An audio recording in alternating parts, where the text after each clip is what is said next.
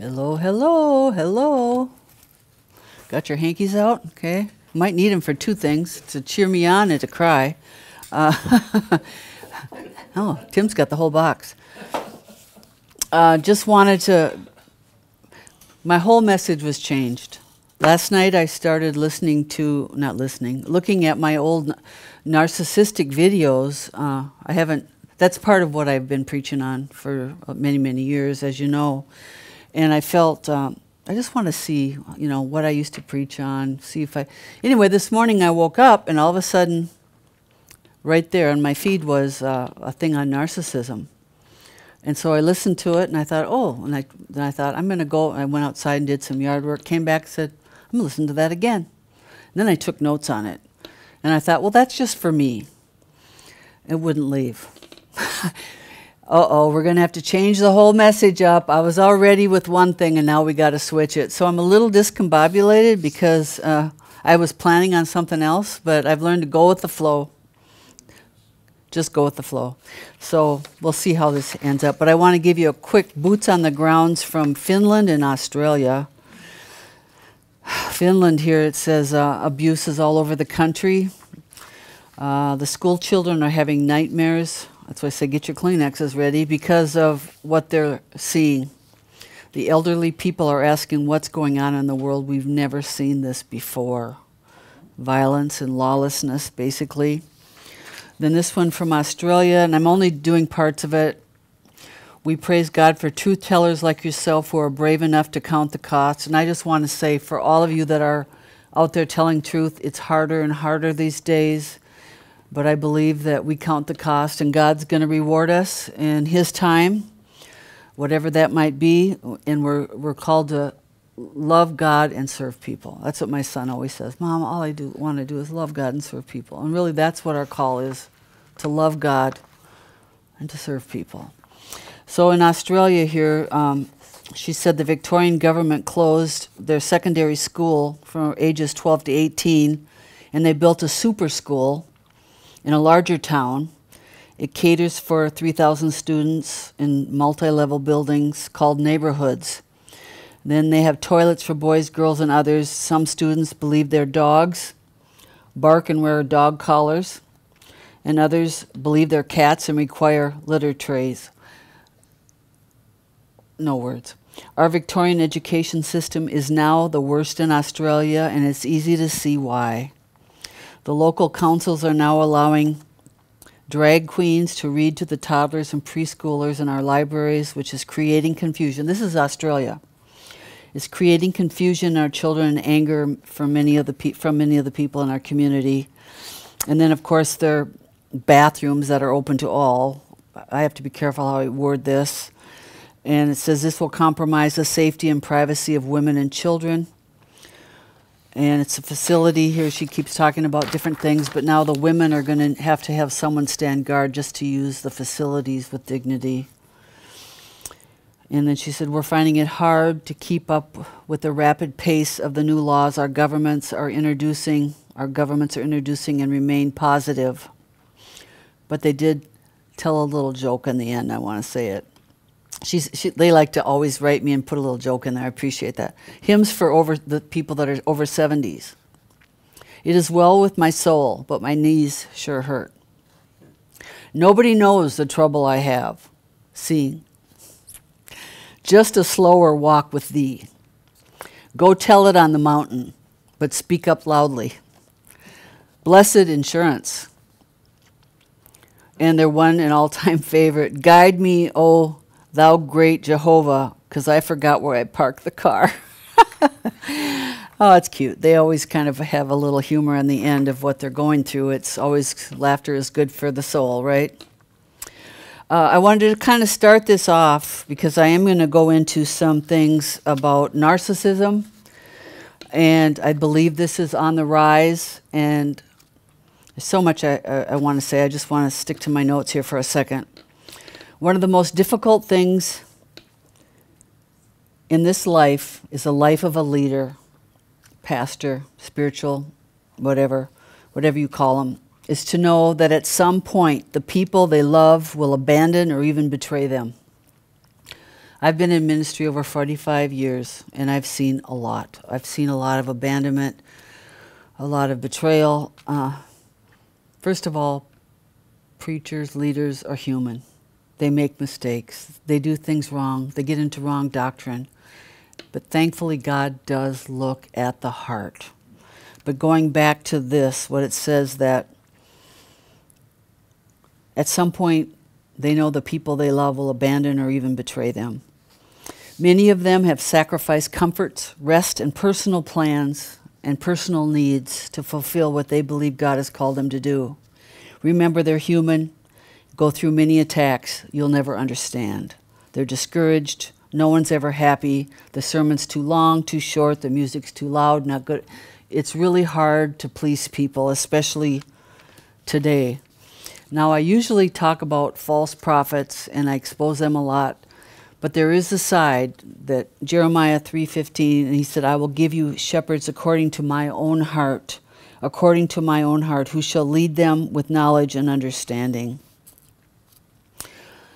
So there's a good side and then there's the opposite side. And true sometimes we have to look at both sides of the coin. And there is a cult of personality which right now there's so many churches that are uh, being exposed. I, I'm not sure of this whole plan, but God's judging or if the enemy's just bringing down what he set up, which we tried to warn people for years about some of these churches and these leaders, uh, what they were doing to come out from among them. And so a lot of you people that listen to these channels and other discernment channels, you're aware, and you have been aware for a long time, but some people don't. And I wanted to read this uh, that I posted years ago, kind of to start this thing out about the sheep and the goats. A shepherd allowed the sheep and goats to mingle together during the day, but at night he separated the sheep from the goats through his unique call. The sheep are gentle, easily led, submissive, yet persistent. In the face of danger, the adult males would surround the females and the young. The goats are pushy, self sufficient, and headstrong. Goats have horns and are harmful. Goats have tempers and are quarrelsome. Goats rear and butt for dominance and want to lead, not follow. The goat represents a disobedient and undisciplined lifestyle. We are seeing who the sheep are and who the goats are. And isn't that the truth? And we just have to keep our eyes on the Lord as a lot of these things shake. And a lot of the people that people follow, I remember when I started seeing a lot of this stuff, it was heartbreaking. The people you followed and thought were right on had another agenda. We won't get into that. But uh, another thing that I, I put on my page today was, and I'm not on Facebook much, but wheat bows, dies, and cloaks itself in readiness for harvest. And what's that like? The wheat. We're, we're supposed to be like wheat, that we humble ourselves, we pick up our cross, and we deny ourselves. So wheat bows, dies, and cloaks itself in readiness for the harvest. Tares do not. Tares are proud. Now, the scripture that I wanted to, to start off here with is John 6.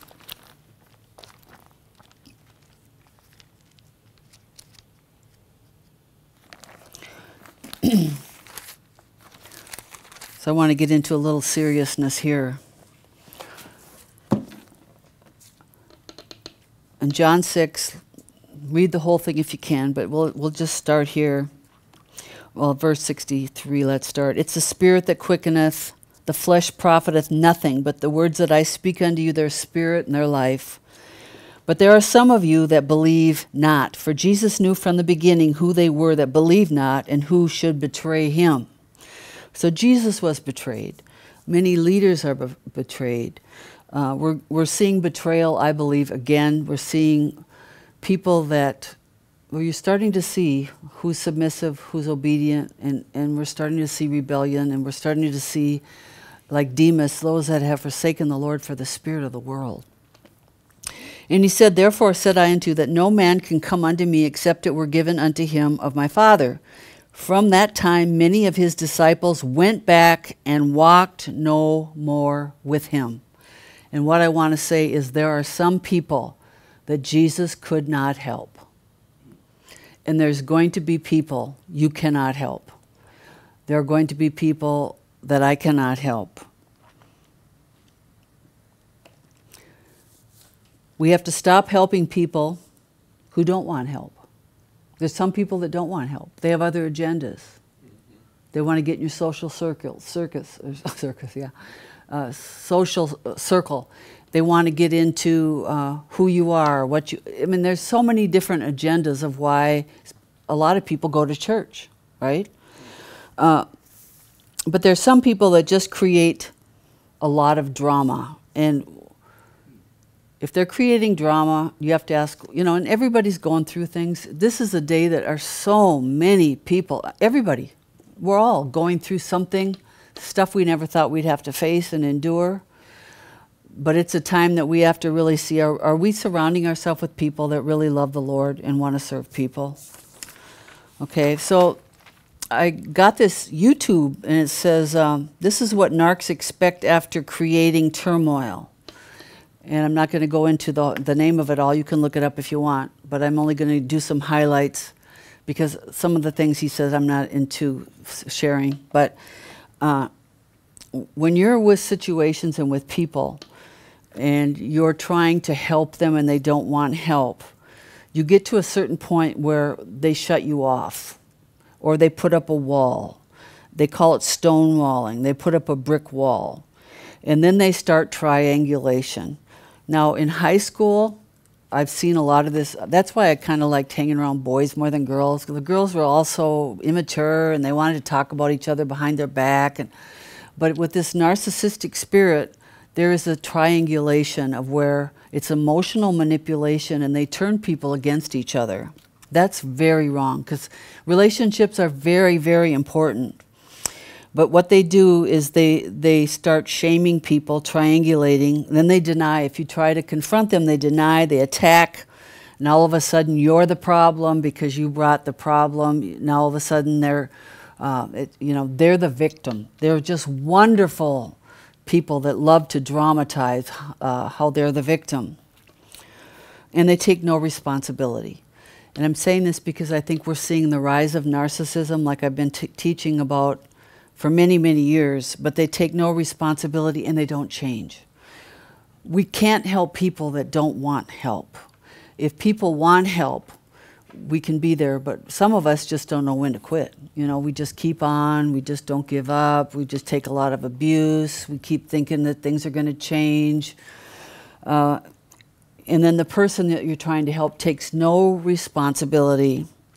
They're very problematic. There's things that are going on in their life and they have a hard time looking at themselves, so they project, and it's always other people's problems. And then they want to be uh, credible. They always have to be the smartest person in the room. It's hard to tell them things because they know it all. I don't know if you've ever met anyone like that.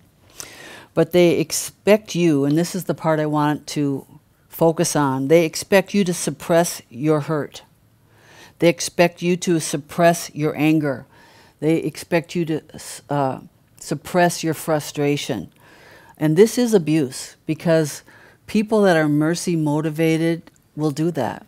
They will stuff, they will try to make it right, they will try to work with you, they'll try, and they are hurt. And these people seem to pick out those people that are long suffering, that are very caring, and they bring torment and abuse to them and turmoil. It's a lot of turmoil.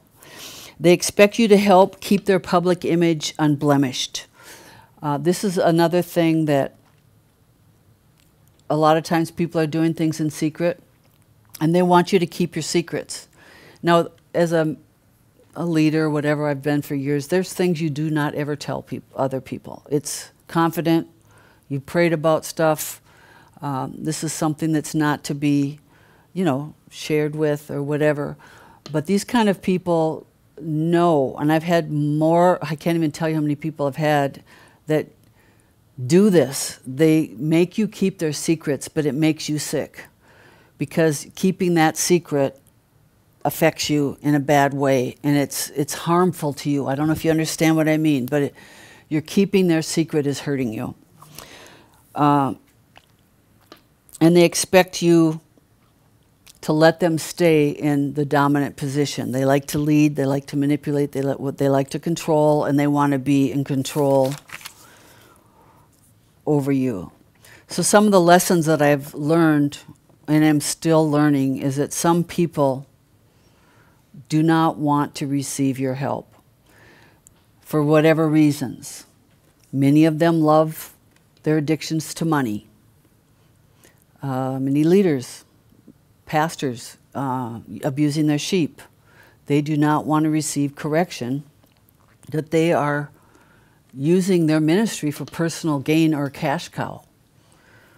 They won't let that go. Once they've gotten the taste of money, many leaders abuse the people underneath them. And I'm talking about their staff, and I'm talking about someone I know right now.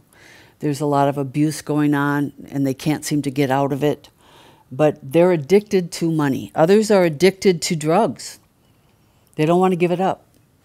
Uh, there's people that I know that married into an, an addiction, addicted guy, all I say was, and it's like she's divorced now, but the trauma that she's went through because he wouldn't give up drugs. And also people that love alcohol over their relationships. They've chosen which path they want to take. And at some point in time, you have to realize I'm going to pray for them. God never gives up on them. Uh, it might be my exit time because I can't stand anymore to help them because helping them is hurting me. Helping them is hurting what I'm trying to do. Of course, they don't see it that way because they create turmoil. And because they live in a spirit of entitlement, they feel entitled for you to take whatever abuse they give you and not to say much. And they just basically just can't we just move on? We're not going to deal with this. But then they don't move on. You end up stuck with all the other people around. There, there's just so much chaos that comes. But you can always guarantee if it's a narcissist it's always going to be your fault no matter how and this is the part that i think is really sad and betrayal no matter how much you try to help them they flip it on you and all of a sudden now because you're trying to stand up and, and put some boundaries. You're the enemy now. And I've seen this over and over and over again. I'm to the point in my life, I'm tired of it. Are you guys tired of it? I'm tired of it. I'm tired of people using and abusing people when they're the abuser and then they all of a sudden turn the, turn around and talk to your friends and try to turn your friends against you. You know what? That is a wrong spirit. And this is the thing I've seen throughout the years that I've been in ministry. And I'm not just one that's been in the ministry myself. Uh, I have aunts, I have uncles, I have cousins that are preachers. My whole dad's side, um, my dad kind of fell away from the wayside a little bit, but he came back. But all of his brothers and sisters are Christians. My grandma and grandma are strong Christians. My uncles, um, my brother, my son. Uh, we have a whole family history of ministry. And with that, where's my Kleenex now? I've seen a lot of abuse towards them and towards myself. I've seen people be really abusive, and as a leader, you can never complain. Uh, you, you have to get up every week and act like nothing's wrong, but they're human and they hurt and they have needs. If you have a friend or a minister that's good, that's a good one, take care of them, love them, because they're rare in this hour. And some of them don't have all their doctrine straight, but you know what? I don't know who does. I don't know anyone that's got all their acts together. But that doesn't mean that we are called to hate people. I mean, what's turning into Christianity now is, you know, we're hating this person and we hate that person. And it's just, it's an antichrist spirit and it's not of the Lord. And the other thing I've seen is that the enemy uses the weakest link. Sometimes someone you never expect would attack you is used. And why are they used? They've opened up the door there's a good way to have relationships, and then there's a bad way. There's a good way to not be a part of someone's life. I remember when I had to leave a ministry, a big ministry, that uh, probably the biggest one, woman one in the world. I left because I started seeing things. I started seeing things behind the scene. I started seeing uh, a lot, but I didn't leave evil. I didn't attack. I didn't go on YouTube. I didn't go around and, and because I didn't want to give place to a spirit. But people, when they open up other doors, there's a spirit that is, that attaches to them. I've seen it through the years, that they become bullies, they become abusive, and there's just no place for that. I'm just like, how can you walk with the Lord and have this spirit on you? You know, and that's the thing with betrayal. I see this in in so many families right now that are divided, and this is what the enemy wants. He wants this political stuff to go into such division you can't even be friends with people that disagree. Well, we just don't play. We just have to say, you know what, I'm out. I'm not playing this game. And that's how it is. It's just like I'm not playing this narcissistic game. Um, and I felt like I wasn't going to talk about it, but I feel like I feel it in the spirit realm. And it was just like, okay, I'm going to, I'm not a quitter. And sometimes you, we have to just address things and just say, you know what? If people's secrets come out, not because you told them, because of other people's secrets, this is happening worldwide right now. We don't have to apologize for them. We're not the apologists. I used to always, you know, try to make everyone get along, and uh, this you gotta like this one. It's like, it's like, no, you know what? If they don't like that person, uh, that's okay. You, you don't have to like that person.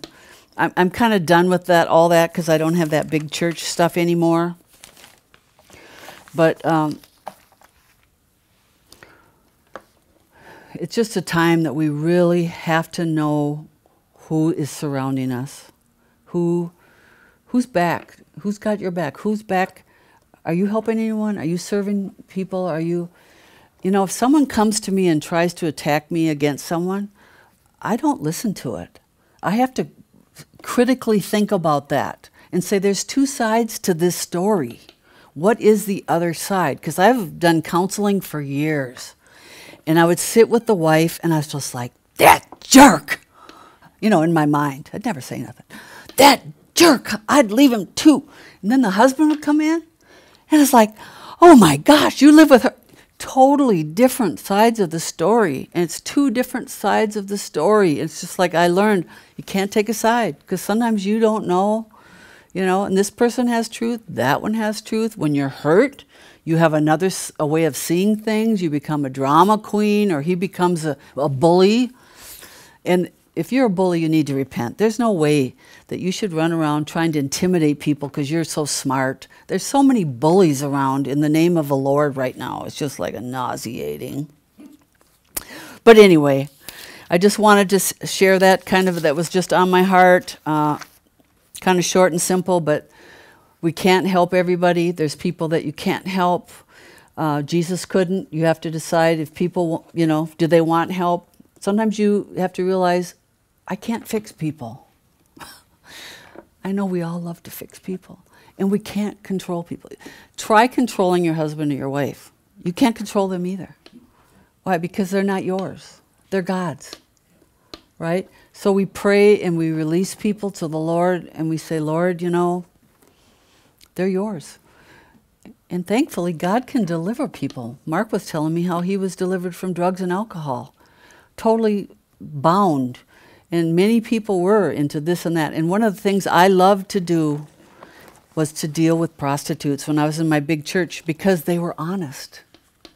They were honest. You can't help people if they won't tell you the truth if they keep a mask on and they're fake, and you can tell when they are. I don't know. They think they can't. You can't tell. I can always tell. This is like this. You know, it's just it's these prostitutes. They'd come. To, I had three that I dealt with, and they would come to me and say, "I blew it last night. This is what I did." And I didn't shame them. I didn't say, "Oh, you rotten." I just said, "Okay, you know, we're going to get back out. We're going to get one of the girls." She said, "I moved in with." Her rich boyfriend, and I said, "Okay, do you want me to help you?" She goes, "Yeah." So she, went and told him. She said, "I want to move out. It's not, you know, I'm I'm walking with the Lord now." He took all her clothes and threw it on the boulevard. And then I went and talked to him, and he, he understood that she wasn't rejecting him, but she was trying to walk with the Lord. So, I mean, there's consequences when you want to, and we could help those people. And there's people you can, and then there's people you can't. So, I don't know. I guess my lesson is when you know sometimes that people aren't going to change, you can love them, but you have to make sure if it's a spirit that's out. See, I have to guard my own heart because of what I'm doing. The enemy always wants to get me discouraged. Put people around that are going to attack you. And I haven't had it. I'll go for a year, two years, maybe five years, and I won't have anything. And then all of a sudden, here's that same spirit using someone else but now it's like, okay, this time I had friends around me. They were like, this is what this is. I was like, yes, I don't know exactly what to call it, but God knows what it is. Spirit of pride, spirit of division, manipulation, all of the other things. It's the same spirit that just keeps coming to try to discourage people, discourage one another. So I just want to encourage you if there's some people you can't help, if they walk away from you, and they walk away, usually they walk away you have to let them go and just say, Lord, they're in your hands. I trust you. You know, I love them as much as I can. I love them, but I'm tired of this game. And that's what it becomes. They become a game, they're going to test you. Do you ever had anyone test you? Test your boundaries. I know you said no, but I'm just going to see. I had one son like that. He just stuck on my last nerve, just testing me, testing me. I don't know, maybe you had one of those kids too. But anyway, Father, we pray. We pray for all of us. We know people are going through things, people are hurting. Many people are turning to different substance abuse. People are trying to cope any way they can. But we pray for those that are being narcissistically abused. And Lord, I just pray that they would get help. They would talk to someone, that they'd know that they're not in this alone that they don't have to keep trying to help someone that won't help themselves. So give us all wisdom, give us boldness, give us courage to put up proper boundaries, but keep our hearts right that we can still love people and that we don't give up on people even though they're going through things. We keep our heart right, but we know we're in a war. We wrestle not against flesh and blood. It's, it's people the enemy finds an open door and he attacks through. Help us not be those people that attack other people. Help us guard our hearts that we don't attack and we don't abuse and that we don't uh, neglect and use people. In your name we pray. Everyone said? Amen. To watch Roberta's messages, you can see her on YouTube at Roberta Morrison. Roberta Morrison 2 the backup channel. Living in His Presence Church on Rumble, Living in His Presence Church on BitChute, and at the livinginhispresence.org website, where you can see all the messages and download them as free audio MP3s. If you would like to contribute to this ministry, go to the main web page, and on the top right is a Give button. Thank you, and see you next time.